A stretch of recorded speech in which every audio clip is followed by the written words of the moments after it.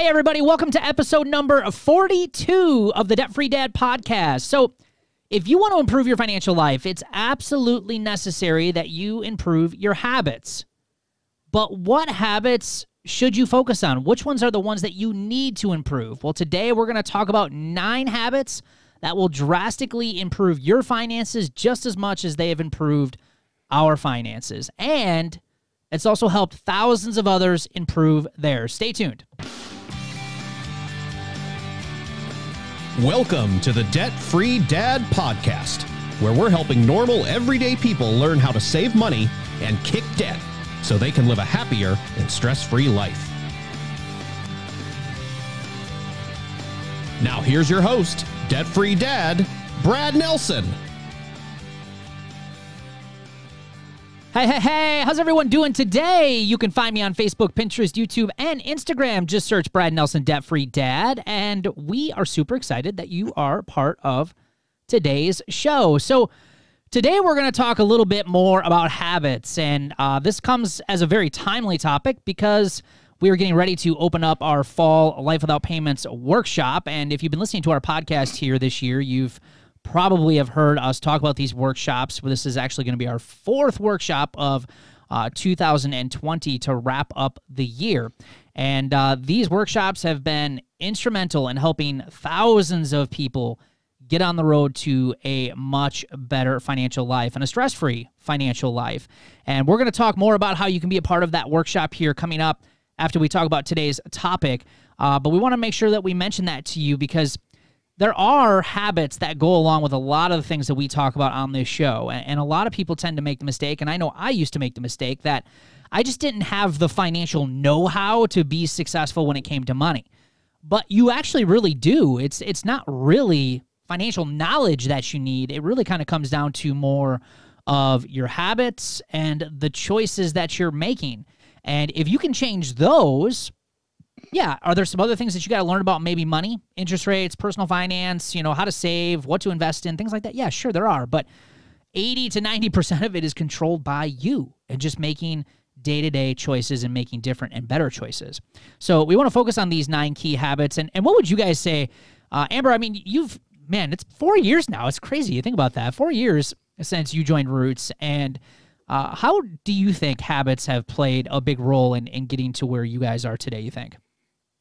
Oh my gosh, they have helped immensely just by and and it's not like these huge big steps. It's little tiny things like checking my budget every day or checking my bank account all the time. And it just kind of helped us stay on track and stay focused on the goals that we were setting. And now we just got to set new goals. So, oh, we're going to talk about goals. This is like I, the first I, habit. Yeah, I'm excited. but did you set goals four years ago, before four years ago, or I mean, how big were you on goals? At least when it came to your finances, you've always owned your own business, so I'm sure you yeah. so I goals. set, I, yeah, we set a lot of goals for like my business and stuff like that. But personally, no, we didn't set too too much. I don't know why. I don't know. And do you think you'd relate that to being poor with your personal finances? Probably nothing. No, but nothing ever seemed. You know, you think about, oh, maybe someday I'll do this thing, or maybe someday I'll buy, I'll own a home, or maybe someday I'll go on this trip, and then you just never think it's possible because you don't have your finances in check, so it's just not going to happen if wait, you don't have a plan. Wait, someday never came, did it? N- not until I started planning for it and making goals. uh, right. What would you? What do you think?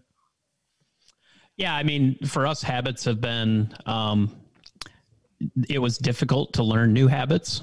I think that's been that was kind of the thing we learned over the years is um, it's painful because the habits that you've learned to that point are not necessarily the right habits. So to unlearn everything you've been taught and to start trying to do these new things that now are pretty like well, yeah, I shouldn't buy it unless I have cash. Like that thought process of just paying for things with debt and borrowing money was so like ingrained in me that to think of it in another way and to develop a habit of thinking differently was very difficult. But now, I mean, that's how we think about everything. So um, we're like polar opposite. You know, everything we buy, we're thinking through like you know all these different things before we actually make the purchase.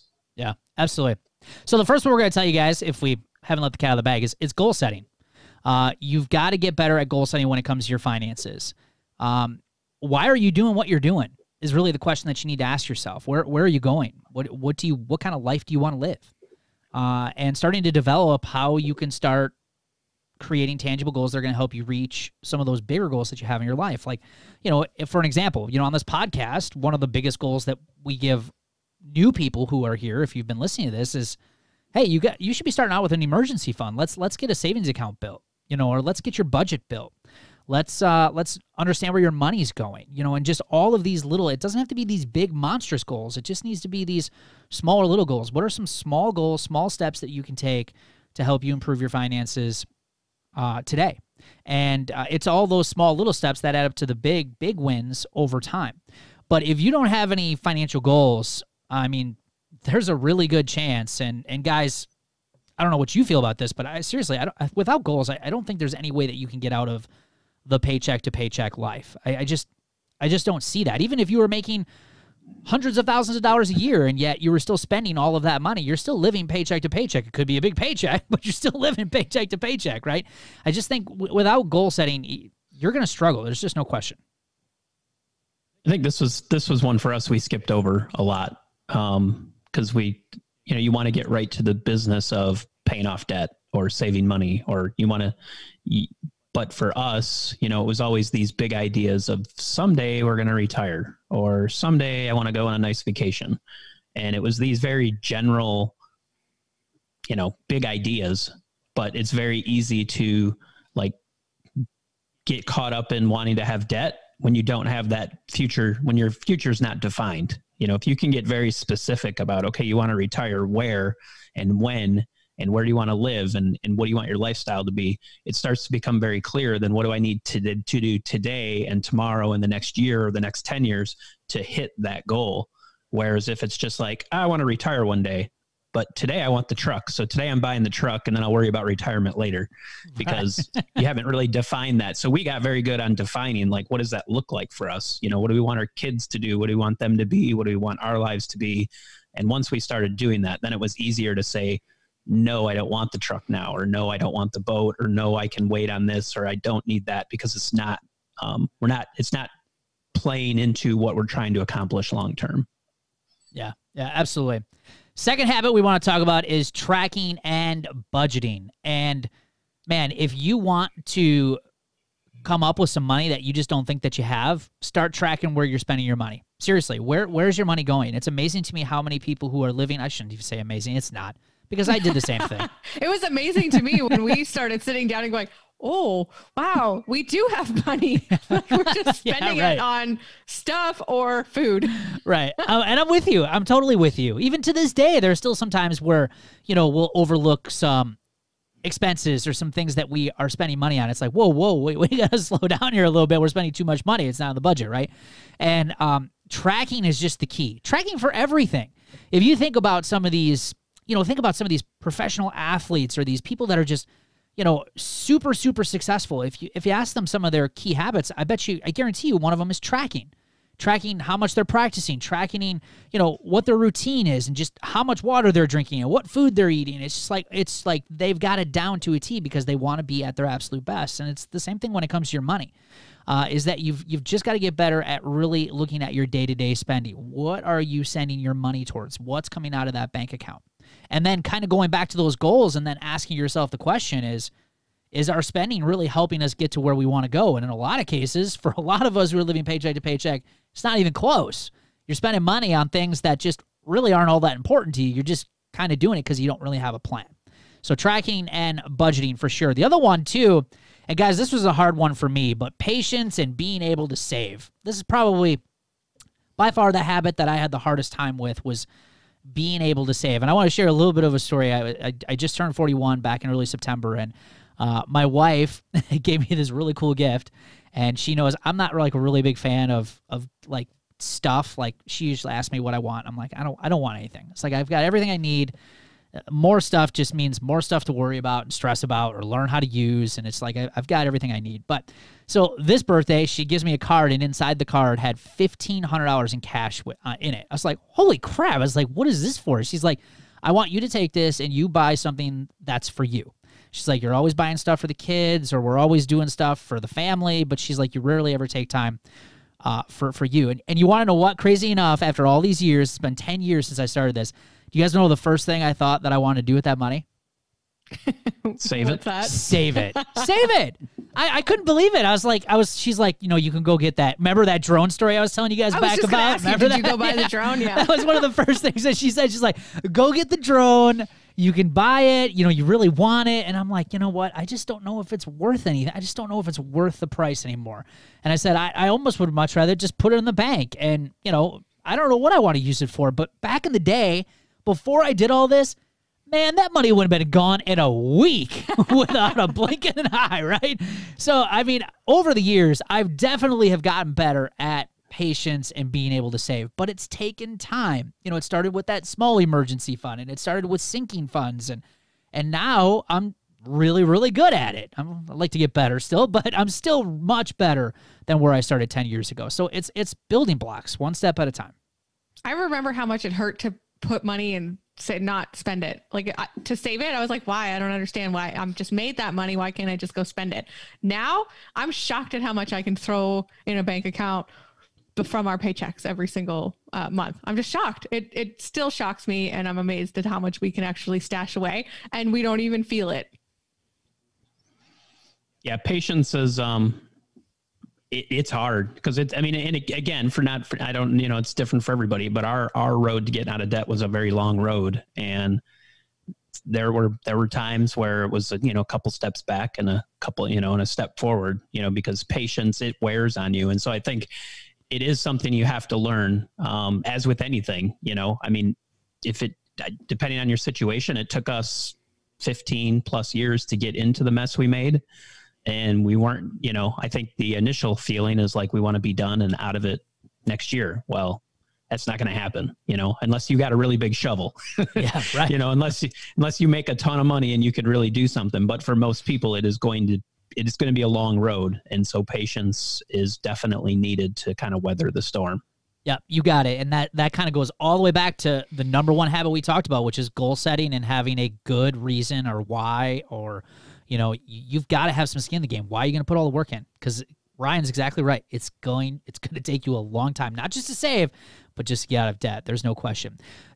Other habit we want to talk about, and is this the? Uh, I don't have these marked today. This is fourth. This is number four. So for those of you who are writing these down, number four, sacrifice and be able to delay gratification. This is this is another big one. This kind of kind of relates to that fifteen hundred dollars in cash that my wife just gave me. It's it's you know it took a while to change that habit. Again, delay gratification.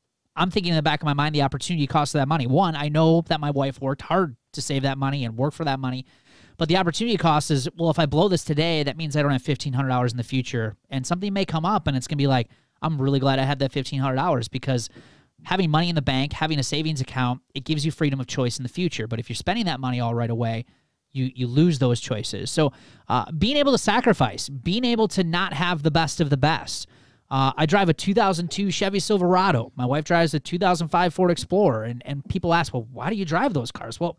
It's not because we want to, because sure, I would love a brand new truck or a brand new SUV for my wife. But at the end of the day, it's the sacrifice of driving those vehicles that allows us to do a lot of other things. And that's why we decide to make those choices and do those things. Same thing with where we're living. We still currently rent. We're saving up for a sizable down payment for a, a home purchase. And the home that we're renting, it's not in the most convenient and greatest of areas. It's a pretty small house. It's it's it's just not ideal, but the rent is ideal because it's cheap, right? So what does that do? It gives us an opportunity to put more money in the bank and gives us again in the future freedom of choice. So you've got to get comfortable with getting uncomfortable and and feeling a little bit of that pain of not having the best of the best. This this is difficult. This is a difficult area to be in. Um, I know for us, we really struggled with this early on because you know we lived in a nice neighborhood, surrounded by people who had lots of stuff, and so um, the natural inclination was to not want to um, delay gratification or sacrifice because we had to have what everyone else had. You know, so it wasn't until we kind of got out, got ourselves out of that, that we um, and moved down. You know, moved down in a house and you know, our house is fine. It's nothing special, but it works for us and for all the same reasons you did. I mean, it helped us hit our goals, but um, it really did help us learn to how to delay gratification. And I also think delaying gratification starts to, at least for us, it's really started to help us figure out what are the things we really want. You know, because I think sometimes when you you react to that gratification, what you think you want, you really don't, and you find out a couple months later that you it's not really making you happy. Um, so if you delay gratification, you learn like, yeah, I guess I don't really need that new TV. You know, um, if you want it, two or three months later, maybe you still buy it. But for mo- for us, we've learned that we we buy a lot less stuff because we just wait and think about it and like, yeah, I guess I don't need that.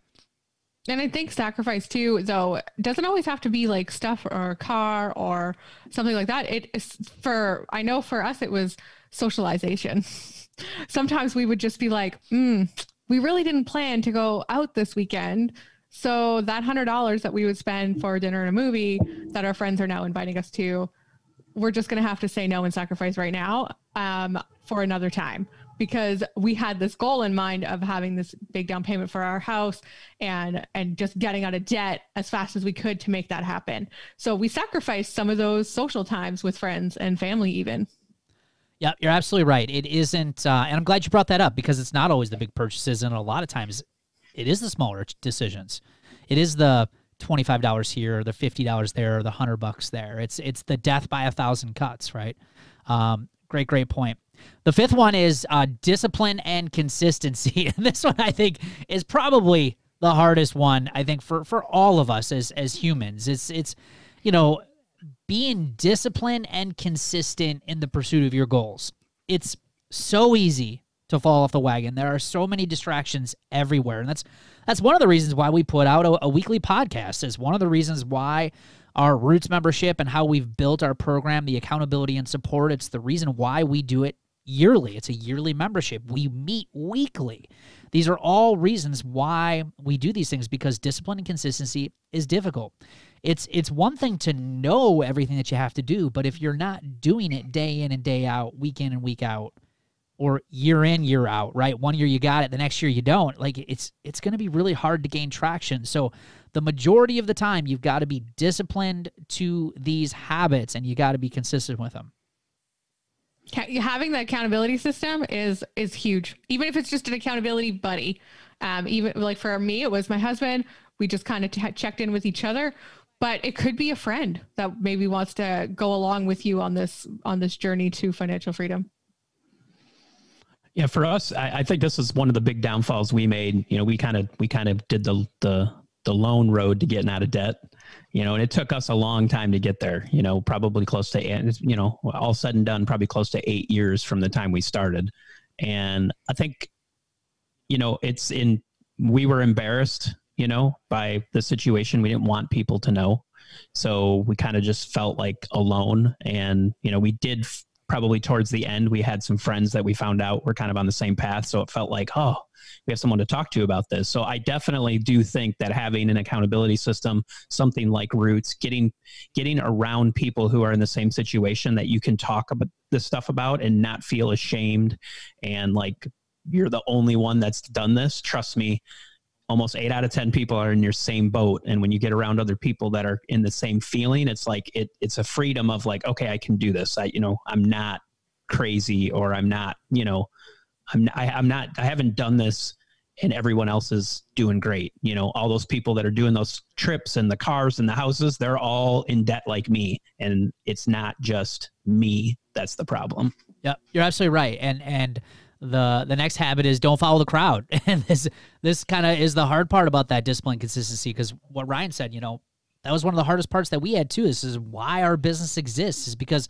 i knew it didn't have to be this hard and one of the reasons why it was because we did it by ourselves and we had hardly any support we had most people kind of made fun of us for it and uh, it was that was shocking to me i didn't really quite understand that here you are you're trying to improve your life trying to improve your finances get out of debt um, get yourself into a better place. And most people kind of just look at you like you're nuts. Like, what do you mean you're not going to live without a credit card? Or what do you mean you're not going to have car payments? Or like, that doesn't make any sense. It just wasn't clicking.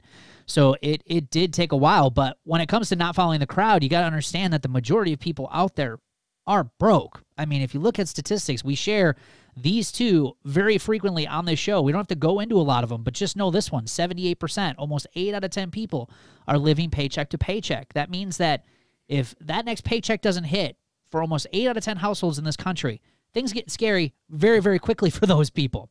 And yeah, they live in really nice houses and have really nice cars and really nice lawns and nice landscaping. And not all of them, but some of them do. So you can't always just go by looks and what's happening on Facebook and social media and what they're talking about. Um, another one, Go Banking Rate Survey, they found that back in November of 2019. So just almost a year ago, as we were kind of going into the whole coronavirus situation, 69%, almost seven out of 10 people had less than $1,000 in a bank account. Almost seven out of 10. So you really got to be careful about not following friends and family. And I mean, unless you've definitely vetted them, like you know they're doing well, because in a lot of cases, they're just not doing that great. So you got to be able to find your education, your support from an outside source that knows what they're talking about and knows what they're doing. Next habit is a good one. I love this one. Is uh, gratitude, and uh, I think in a country that we live in, the societies that we live in, we're all about hyper consumerism, right? It's it's always about the next best thing. Uh, in fact, if you if you buy a smartphone, and I'm not going to say any manufacturers here, but you know, if you buy a smartphone, all of a sudden the new smartphone comes out, and and it's amazing how much the marketing can make you feel guilty for what your current phone doesn't or does do, right? And and here you are now thinking, oh, I got to have this latest and greatest, or the marketing makes it look like the people who own those phones are the hip and trendy ones, right? They're they're the ones who've got it, and you've got to. This took me a long time to do too. Is like you've got to be grateful for what you already have, and sometimes that could be just as easy as spending time each day and just thinking about, hey, I'm grateful for this, or I'm grateful for this, or I'm grateful for this um, and and really just sitting still and being grateful for what you have instead of always focusing on what you don't have. Because if you're always focusing on what you don't have, you're never going to be freaking happy. You're never going to be satisfied because they're always going to be coming out with something new that you're just going to have to have to have. So gratitude has got to be a part of your financial plan. It's so easy to take for granted too um, what you have while you're seeing flashes of highlight reels of friends, family, even acquaintances or people you haven't talked to in years on your social media. It's really easy to go, oh, I wish I had that when you have the equivalent or more sitting all around you. Yeah, this is an, I mean, for us, this has been a, a big habit to consistently, um, you know, kind of drive home. You know, we moved from a big house down to this house and I'm, com- I've, we've learned, I think that's the, one of the biggest things we've learned through this whole process is gratitude and contentment is not getting out of that rat race and the mindset of everybody trying to tell me what I need. It's for, you know, if I finally learned in my life after almost 46 years of what I really need and want in my life, you know, um, I've spent 40, over 45 years of chasing it, of everyone telling me what I should have. And now I, I just, I know what it means to me and I'm thankful for the things I have. Yeah. I, I think, you know, Ryan, you said earlier, you know, it's just, you almost feel better having less stuff. And I totally, totally agree with that. Like, I just, the less stuff I can have, the, the better off I think I am. It's just, it, it doesn't stress you out as much. It's just, it's just so much better just on the gratitude side. So focus on those things. Next habit we want to talk about too is uh, just commit to not using debt. I mean, that that's a it's a very simple habit. Like it's just like that's a simple rule, I should say, not a simple habit. Simple rule. No, hard, that's not that's not simple at all. Brian. Hard habit to follow, right? hard hard rule to follow for sure. But seriously, just commit to not using debt any longer. That's it. I mean, just it doesn't get any more complicated than that. Is it hard to follow because of what society is doing, because of what we're hearing about marketing, and because everything out there is marketing with financing and payments? Yeah, it's absolutely hard to go the other direction, but it's not impossible. I mean, I do it. Ryan does it. Amber does it. I mean, I've met hundreds and thousands of other people who do it. It's just we're the minority when it comes to this idea. But you just have to commit to not using debt any longer, at least for a period of time. If you're listening to this podcast and uh, I, I just ask you to do it for the first 30 days, just say, hey, look, we're, we're just not going to go any further into credit card debt. We're, we're not going to buy anything with financing. We're just, we're going to see how we can do with one month of just not using debt. And if you can do it one month, you can do it two months. If you can do it two months, you can move on to three months. And slowly but surely, by practicing some of these habits, you'll you'll prove to yourself over time that you don't necessarily have to have credit cards for emergencies. You don't necessarily have to have a car payment to get a reliable car. There there are other options that are out there. Yeah, and I think I think this one here, when you say commit to not using debt, and this goes back to learning the habits of discipline, learning the habits of sacrifice, and delaying your gratification. That's how you can really commit yourself to getting out of debt. Um, you know, because because it's for us, it was always like we're going to get out of debt, but then it it's those other habits that we didn't have that creep in. That but so if you really you know just like Brad said, I, I think it's important, like you said, 30, 30 days, like don't take it as this, hey, we're going to try to get out of debt this year. Just do it in small increments. Like we are just, a lot of people have these no spend months, no spend January or whatever you want to call it. Just do that for a month and see if you can do it. Yeah, I think that's one of the mistakes that I made uh, early on is is trying to wrap my head around actually reaching a life without payments, actually reaching financial freedom and early on in, my, in the in the game for me, or at least in the journey, it was it was just hard to wrap my head around that. And I think that's what probably delayed me the most was buying into that it's actually possible to do it. Well, rather than think long term, let just yeah, like like we said, break it down shorter, 30 days. Just start with that. Just start with small little steps. And as you start implementing these things over time, you'll see that you're going to start to see these little improvements and little improvements turn into big improvements. And that's when you're going to start to buy into this. Hey, this actually could work. We could actually do this, and life is getting better. But you have to give it a chance, and it just starts with one little small thing. This last one I want to talk about. This I love this. Um, I'm a big Darren Hardy fan. Uh, Darren, if you haven't heard of Darren Hardy, look up Darren Hardy. Uh, he does a, what he calls as a Darren Daily. It's it's a really cool self development video that he does Monday through Friday. It's it's literally like three to five minutes long a day. It's it's very short, to the point, and he always gives some really great stuff. And one day he was talking about this idea of having unconscious incompetence, meaning that you don't even know that you're doing anything wrong, and that's what's keeping you really stuck. And if you have grown up to manage your money like most people do in the United States and in Canada, right? And you've grown up to understand that debt is normal, you're going to have a credit card for emergencies. You're always going to have a car payment. The credit score is the ultimate thing in your life, and so on and so forth. Like, a lot of people just don't even know that what they're doing is wrong because it's all they've ever known. And that's why education and stepping outside your comfort zone and opening your mind to new ideas is so important if you want to win at personal finance. Because as we said about it, if you're if you're going to follow the crowd, and and they're incompetent as well. And and honestly, not it's not by choice. It's just just matter of fact. It's just how they've been raised. But education is going to help change your mindset. It's going to help change the direction of where you're going and want to do things differently. Uh, if you're going to keep doing the same things over and over again, you're never going to get a, a different result. Yeah, the credit industry has you know what probably since the 50s you know for the past 70 years it's been the most heavily marketed product in the history of mankind probably at this point. And so they have done in you know if you think about 70 years i mean you're talking about a few generations of people now who have been just nothing but indoctrinated with this idea of debt. So I think this is important to realize because I think this is where that shame comes in and that that feeling of like I sh- you know I'm embarrassed and all that you know but reality is this is what we've been taught. I mean I think we've had examples on this podcast. We've had examples with our kids in school the books they read. It's the the Barbie that has the credit card. I mean, just it, there's so much, so there's so many things out there that we're bombarded with that credit is normal and okay, that it's you shouldn't be embarrassed that you don't know because I didn't know. I remember when Brad, who's my brother, said he was getting out of debt and I thought he was crazy. and I just was like, what are you doing? Because it was just it's just not it's not what you do. You you borrow money for everything. That's how you live your life. Um, at least here in America for sure.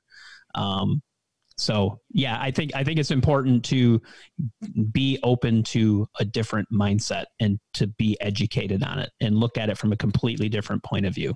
Yeah, definitely. I agree. I was going to say the same thing and just don't don't beat yourself up. It's okay to to look for some different answers. and I think we have some of those answers coming up in our Life Without Payments workshop and And guys, this is what we've wrapped our business around are are these nine key habits and and helping you uh, get to be, you know, have these habits be a part of your day-to-day life. And that's why we're opening up our free Life Without Payments fall workshop. And this live workshop is going to help you reduce a lot of financial stress. It's going to provide you with a lot of the first steps, and a lot of those you've heard here, but we're going to reiterate those first steps, the things that you should really be focusing on. And it's also going to give you a clear direction on how to get on the road to a stress-free financial life. I think one of the biggest things that a lot of us struggle with is is just where to get started. What what do I need to focus on? And and I think that confusion and that frustration and like we've talked about sometimes that emotion can kind of keep us stuck and and what happens is over time as we delay it, we delay it, we procrastinate and nothing ever changes. And the point of this workshop is really to show you exactly the steps that you need to be focused on. We're going to show you in what order you need to focus on. So that way when you leave the workshop, you know exactly what you should be concentrating on and uh, you can start implementing these uh, these nine key habits that we talked about here today. And uh, before you discount and say that you know what we do here and and what we share with people only works with certain people. Uh, you're kind of dead wrong. This is helping people in all walks of life. And I don't care where you come from. I don't care how much money you make. I don't care how much debt you have.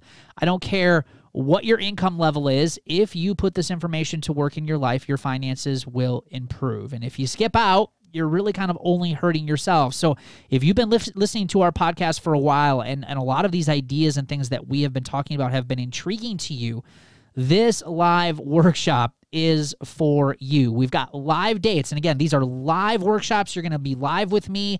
Amber joins us on these workshops. We're going to be coming up on October 18th, 19th, and 20th. All right. You can join the workshop at the real debtfreedad.com forward slash workshop. We're going to include that link in the actual episode of the show notes. But again, that's the real debtfreedad.com forward slash workshop. And I look forward to seeing you in that fall workshop here coming up real, real soon. Hey, hey, what's this I see? I thought this was a party! Let's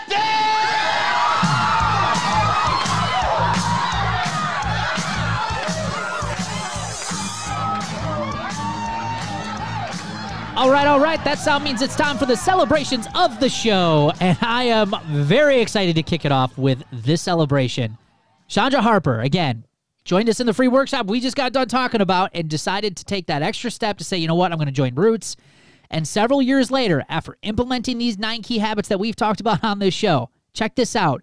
We paid another $1,100 on our mortgage, bringing our balance down, guys, listen to this, to $1,620.15. That means that she is a little over $1,600 away from having a paid for freaking house. I It- love that. The stuff works. It just So- works. Goo- goosebumps right here. Yeah. ladies. goosebumps. It's awesome. So congratulations to Chandra. Uh, Lacey Love did not order food all week and added $250 to her emergency fund, stuck to waiting 24 hours for items over $50, which stopped all of the info- impulse purchases. Awesome. Great job, Lacey. Uh, Judy McCord celebrating my birthday with food made at home instead of eating out and saved us almost $100. That is impressive, Judy. And by the way, I want to give our family a little celebration. So today marks 175 straight days of not eating out. Oh my gosh, how do you do it? 175. Now, I do have to say, there is a little bit of an asterisk because I did go on a fishing trip and I had to eat out twice. However, we're calling it a streak because my wife did not stop eating out. So we're connected. We're connected. So it still counts. So again, don't make up stupid little rules for your goals, right? It's 175 days. Uh, but even before that happened, it was like 130 some days, man. That's it's it's been awesome. It's been a huge money saver. Uh, but uh, we're gonna have a whole podcast coming up on that whole journey because it's it's been interesting. But just had to share that. Katrina McDougal received confirmation that my car is officially paid off. Congratulations to you. That is awesome. Sammy Shopper saved $400 for Christmas and paid another $400 this week towards loans. Christmas budget is full. Now it's time to shop. There you go, said. Sammy. Yep, talking about those sinking funds. And Sammy joined us on our podcast a couple of months ago. Uh, she is still continuing to make fantastic progress. So, congratulations to all of you who are working so hard at reaching financial freedom. And again, if you want these kinds of results, be sure to join us and our upcoming Life Without Payments Fall Workshop. And that, again, you can sign up at therealdebtfreedad.com forward slash workshop. And thanks for hanging out with us here today. We love your feedback, and it also helps us grow our podcast. So please leave us an honest review in the podcast section of the player you're listening to this in. We read every single one of those. And as you know, the Debt Free Dad podcast is here to help you live a happier and stress free financial life. So if you know someone who could benefit from our show, please give us a share. We appreciate you and we will see you guys on an upcoming episode. Take care. Thanks for listening to the Debt Free Dad podcast. For more free resources to kick debt and financial stress, head over to therealdebtfreedad.com.